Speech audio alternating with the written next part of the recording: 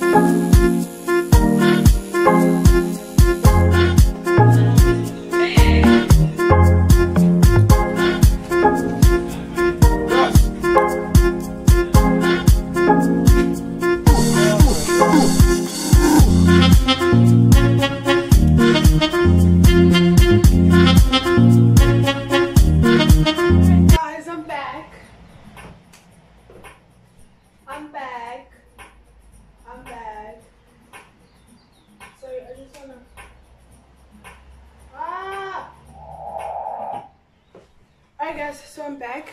Um yeah guys as you guys can see i did my first tattoo. Um it's the first one and um, it's probably not my last one because i'm planning on getting three. So yeah the story behind this tattoo.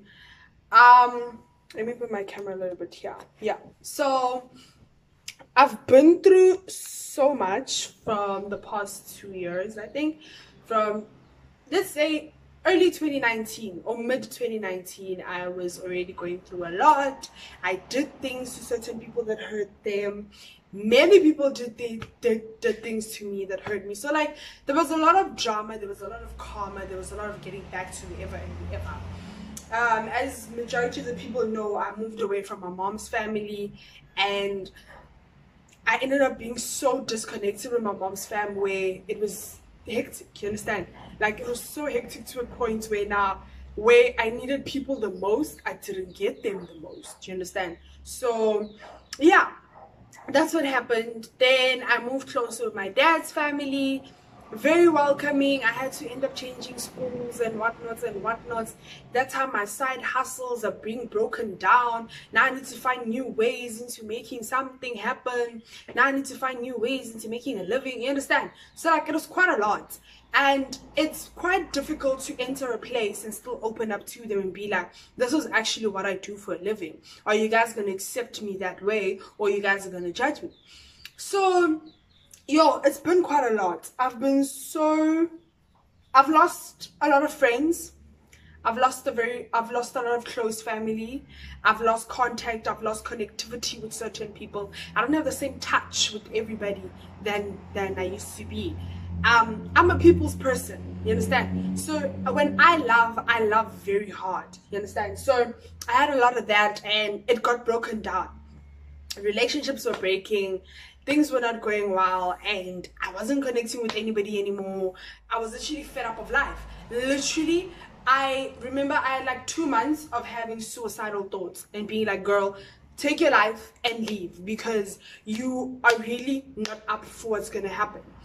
It's been yo it's been a lot. It's really been a lot. I've faced issues where I lost myself in the process of trying to be someone else, trying to make other people happy, trying to make sure that I fill up to certain people's needs to fit in the circle, which has been the worst.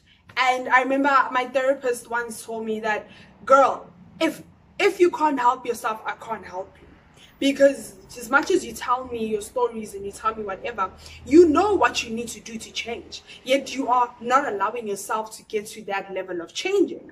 So yeah that was a lot and i had to do with that and i had to be on that point. Then came my big move where i decided to move to cape town.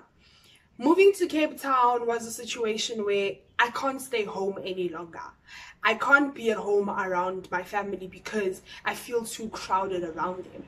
And trust me, where I was, I didn't even feel like I had something within there. And I was just like, no, I need to move away from here, go start afresh, start on a clean slate. You understand? Start on a situation where now I know that nobody's gonna tell me this. I don't have to listen to this. I don't have to. All I have to do is focus. I'm here for focusing. I'm here for doing something. You understand? So then in Cape Town, a more shit happened. Fought with a lot of friends, lost friends, and lost contact with certain people. Things are being awkward again. And I still have about, I still have three people in my life right now that I'm close to now. And trust, they know who they are. They, they were there to tell me that, bro, we told you so and this is what happened. Bruh, do this rather than that. Even in my biggest mistake of almost dying, or almost taking my life away, or almost being raped, or almost doing whatever once again, was a matter of, bruh, stop the fucking thing of making stupid decisions. You need to come up and be cool. You understand? And then I came about starting my own hustle again, which is Beauty by Nkensi, where I do makeup and photo shoots. I'm like, I have a passion of taking pictures. I have a passion of creating content. I have a passion of showing you what an aesthetic is. You understand? So let me bring my passion and put it to work. Then came about um, Beauty by Nkensi. Alongside Beauty by Nkensi, I've always had Dawn Africa, which of course me not being truthfully honest with myself and my business partner, I need to also like work more on that because now it needs to like uplift. So now I told myself, girl, you have two businesses that you want to uplift. So uplift them, understanding that you are very very passionate about these things. You have the power to do all these things. You have the courage to, and the strength to do all these things. Then do them. Don't sit back relax and tell yourself that oh no everything will be good. Oh no things will come to you. No you understand And I hated the thing of I always told myself, oh, my dad will do this. My dad, my dad, my aunt, my mom, my dad. No, I told myself at some point, bro, sorry, please mind my language. I literally told myself, bro, fuck this shit. It's your time to shine. It's your time to rise. So, moral of everything, I've been through a lot and I really wanted to uplift myself and be like, girl, you are powerful, you're strong, you're courageous, and you are way more able to get anything than what you have right now. So that's basically um summarized story of because if I go in detail guys we're gonna sit till tomorrow and I'm gonna tell you guys who did what when I don't want to mention that the main thing is that I have the power and the strength as well as my courage to push me through everything. I'm just getting emotional right now. And I am so happy that I am able to do so much. I have so much for myself and that girl's flourishing. Like I'm gonna be somewhere at some point. Nobody's gonna bring me down. Nobody's gonna tell me anything. Nobody's gonna, no, no, no, no, no, no. Darling, we are moving forward. So that is the moral of the story behind my tattoo um so yeah i'll share guys i'll share details down in the description below on where to get your tattoo from where i got this first one from. The pain is not that bad. People are like oh my gosh it's so it's not so. You literally feel this thing of the needle and whatnot but then it ends up being okay. Like even now like i'm not so it's underneath this if i show you guys. I'm not going through that hectic pain. So i have this uh, so i was instructed to have this for the next like two hours or so. So i'll only take this off later. You understand? Not now. Hence i have it even under my jacket so that it doesn't move around or anything. So yeah guys um that's it. That's why i got what i got today.